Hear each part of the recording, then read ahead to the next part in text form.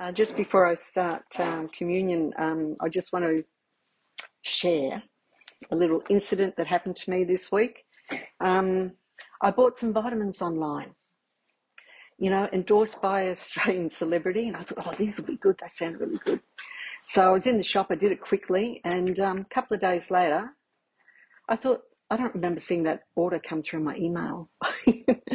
so one o'clock in the morning, I remembered this. So I got up and here's this thing saying that I had been put on a $311 plan and they'd taken the $311.50 out of my account. So I grabbed my mobile phone, you know, I had my mobile phone, so I'm in the dark. Tom's lying fast asleep in bed, and here I check, yes, $311.50 had come out of my savings account. And I went, You idiot. You know, it took you ages to put that order in. You kept hesitating. Why didn't you listen to your instincts? So I got up, turned the computer on, sent them an email. And of course, it probably didn't get to them. And then I thought, I'm filling in a fraud thing on the on the bank on my bank account. So I did that, got back to bed and I'm lying there. Lord, you know, I'm just so useless. I'm just so stupid all the time. You know, I'm this, I'm that. I know you don't want to hear this, but I'm going through everything, Lord. I'm a failure in this, I'm a failure in that, I'm a failure, and I'm just a failure, Lord. And now I feel like an idiot on top of it. And it's got like written on my forehead, like those ads on telly years ago idiot, you know. So anyway, I'm lying there. I couldn't get back to sleep. And I'm berating myself. And then I started, okay, all right, you know, got to sing a little chorus to myself. And so this chorus came up. One of the lines was, He's our Prince of Peace. I said, Yes, He's our Prince of Peace. And this peace just came all over me. I didn't get back to sleep, but I felt peaceful. And I just like knew that everything was going to be all right. Yeah. And so I got up in the morning. I thought, I'm, I'm getting up early. I'm going to ring the bank straight away and waited an hour before I could actually talk to someone. And and the lady said, What were you buying, by the way? I said, Vitamins. She said, Vitamin gummies. She said, Yep, it's spam. It's, it's a scam. Oh my God. You know, so I thought that's why it's taken an hour for you to talk to someone because these scams are going on all the time. Mm. Anyway, but I had real peace about it. And then Tom was worried about me when I told him. I said, No, I'm not worried. It's all under control. If I lose the money, if the bank doesn't reimburse me the money, I have learnt a valuable lesson in life. Yes, and the money went back into the account two days ago. Praise so praise the Lord, praise the Lord. You know, and it just it just shows you that in the little things, God looks after you too. Because when I was telling him how useless I was and all the rest of it, he didn't answer me. Because I said to him, "You've got to listen to this, Father. I'm telling you right now. This is this is how it's come down. You know, how I think about myself." And there was silence. And then, you know, I started thinking of the little choruses. But it's strange because uh, the last couple of weeks, um, thinking I'll be doing communion soon, um, I was thinking about Peter. So this was a personal warning to Peter from Jesus in Luke.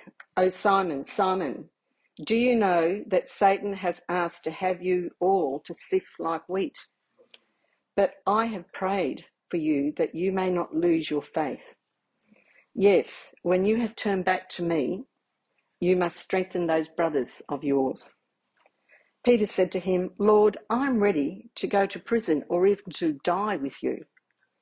I tell you, Peter, Jesus returned, before the cock crows today, you will deny me three times that you know me.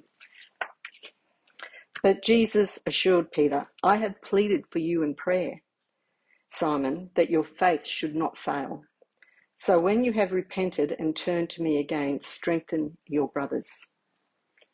And in this Psalm 36, it says, How precious is thy loving kindness, O Lord. So the sons of men take refuge under the shadow of your wings. For with thee is the fountain of life. In thy light shall we see light. That light has a name, hasn't it? It's Jesus. Jesus is the light.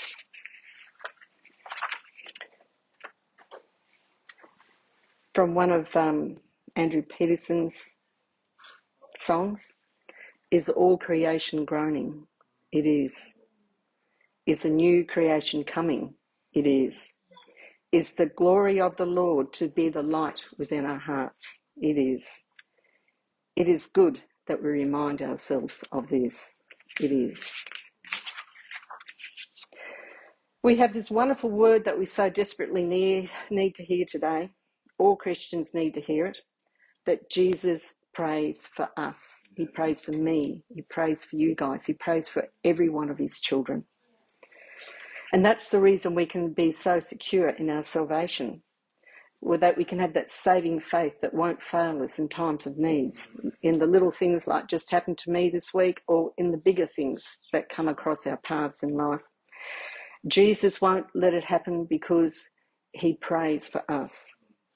It is his faith that we are given to live by, and his faith that the that God the Father wants us to be in his family.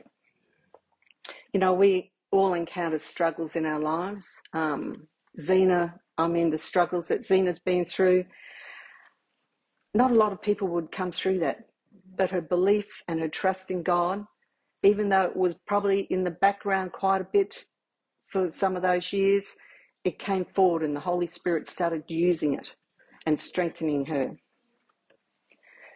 We have lapses of fear and doubt about ourselves, but because of Jesus, he secures our salvation, doesn't he? He proved that by going to the cross. And as we sing again, does the Father truly love us? He does. Does the Spirit move among us? He does. And does Jesus, our Messiah, hold forever those he loves? He does. Does our God intend to dwell again with us? He does.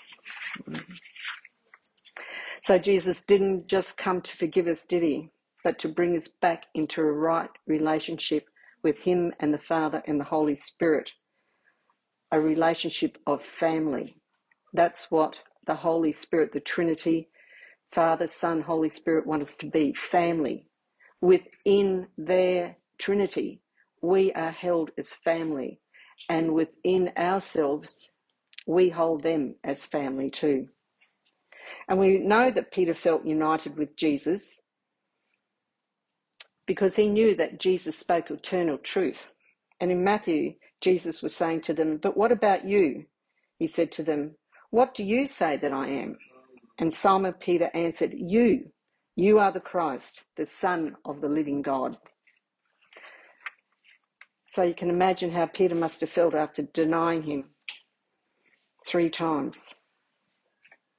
But Peter knew he was worthy, and we sing again. He is worthy, he is worthy of all blessing and honour and glory. He is worthy. Is he worthy? Is he worthy of this? He is. Is he worthy? Is he worthy? He is. Amen. God is relevant today, so don't leave him in a box when our sense of failure overcomes us and overwhelms us. Peter didn't. In Luke 24, the women, the women took the spices they had prepared and went down to the tomb. They found the stone rolled away from the tomb, but when they entered, they did not find the body of the Lord. While they were wondering about this, suddenly two men in clothes that gleamed like lightning stood beside them. In their fright, the women bowed down with their faces to the ground, but the men said to them, Why do you look for the living among the dead? He is not here, he is risen. So they went back and told the others. What did Peter do? He got up and ran straight to the tomb. and he became one of the he became the father of the Christian church, didn't he? He and the disciples, he was the first leader of the body of Christ, the Christian church. Today, religion is a corporate system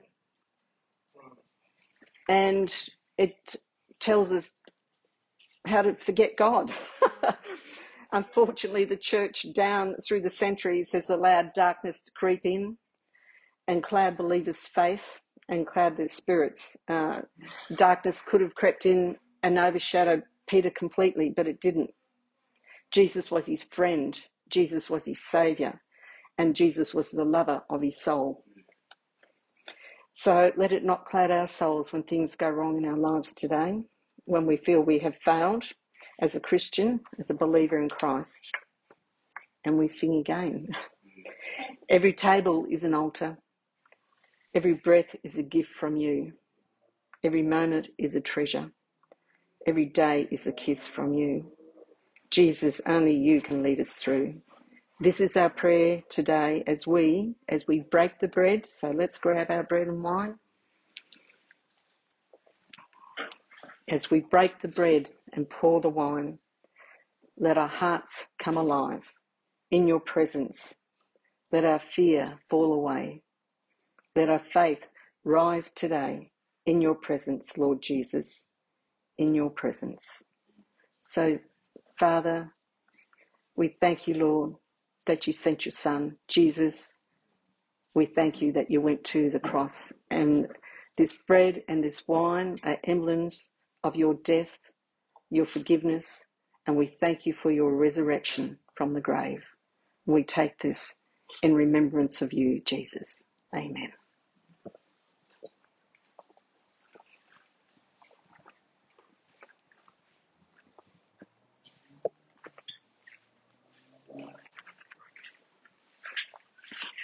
Thank you.